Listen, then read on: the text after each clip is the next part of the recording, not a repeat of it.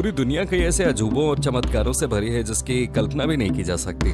इन अजूबों में से एक है प्राचीन मिश्र की सभ्यता के पिरामिड।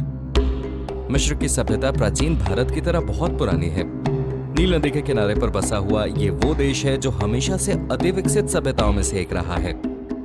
इस देश के बारे में कई ऐसे तथ्य हैं जिन्हें बहुत ही कम लोग जानते हैं। आपको जानकर हैरानी होगी कि ये देश रेगिस्तान से घिरा होने के बावजूद यहाँ पर ऊँटों की बजाय गधों का प्रयोग किया जाता है। प्राचीन मिश्र की ऐसी ही बहुत सी रहस्यमयी चीज़ों के बारे में हम बात करने जा रहे हैं, जो आपको हैरत में डाल सकते हैं। लेकिन वीडियो शुरू करने से पहले आप हमारे चैनल को सब्सक्राइब करके बेल आइकन को ज़रूर दबाएँ।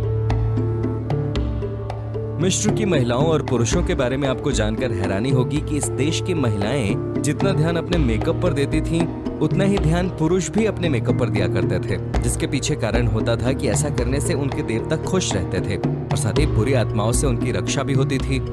मेकअप में यहाँ के लोग मेहंदी और लाल रंग का प्रयोग किया करते थे। उसके अलावा वो लोग हरे और काले रंग का सूरमा भी प्रयोग किया करते थे। प्राचीन मिश्र के लोग मौत के बाद की ज़िंदगी में बहुत ज़्यादा यकीन रखते थे। उनका मानना था कि मौत तो बस एक पड़ाव है। इसके बाद भी हमें दूसरी दुनिया में ज़िंदगी मिलती है और हमारा दोबारा जन्म भी होता है।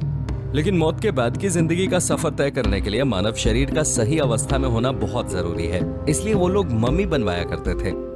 मम्मी बनाने के लिए मुर्दे को पट्टी बांधने से पहले उसके अंदरूनी अंग निकाल लिए जाते थे। मुर्दे का दिमाग उसकी नाक से निकाला जाता था। उसके बाद इन अंगों को एक उपकरण में रखा जाता था। लेकिन दिल को नहीं निकाला जाता था क्योंकि ये लोग दिल को आत्मा का प्रतीक मानते थे। जिस जगह पर मम्मी को बनाकर रखा जाता था, उस जगह पर खाने पीने की हर एक चीज़ को भी रखा जाता था।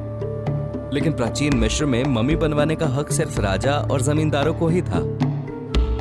आपको जानकर हैरानी होगी कि मिश्र के चिकित्सक वर्तमान चिकित्सकों की तरह ही अलग अलग चीज़ों के विशेषज्ञ होते थे, और वहाँ हर रोग के चिकित्सक अलग होते थे, जो अपने ज्ञान में माहिर होते थे। मिश्र में पुरुषों की तरह महिलाओं को बराबर का अधिकार दिया गया था। वहाँ की औरतें ज़मीन खरीद सकती थीं, जज बन सकती थीं, तलाक दे सकती थीं और तो और वो बाहर काम कर सकती थी जहाँ उन्हें समान वेतन दिया जाता था। वो किसी भी क्षेत्र में काम कर सकती थीं और उन्हें किसी रोक टोक का कोई सामना नहीं करना पड़ता था। प्राचीन मिश्र के लोग राक्षसों पर भी यकीन किया करते थे लेकिन साथ ही वो लोग ये भी मानते थे कि ये देवताओं से ज़्यादा शक्तिशाली नहीं है। वो लोग हज़ारों देवी देवताओं को पूजा करते थे। हर देवी देवता मिश्र के लोगों की ज़िंदगी से जुड़े हुए थे, जिसे ज़िंदगी देने वाला देवता अलग था और शरीर देने वाला देवता अलग था। प्राचीन मिश्र में बिल्लियों का एक अलग ही स्थान था। जब भी उनकी कोई पालतू बिल्ली मर जाती थी तो उसकी मम्मी बनाई जाती थी और उन्हें चूहों और एक कटोरी दूध के साथ दफनाया जाता था। दोस्तों, आज के एपिसोड में बस इतना ही।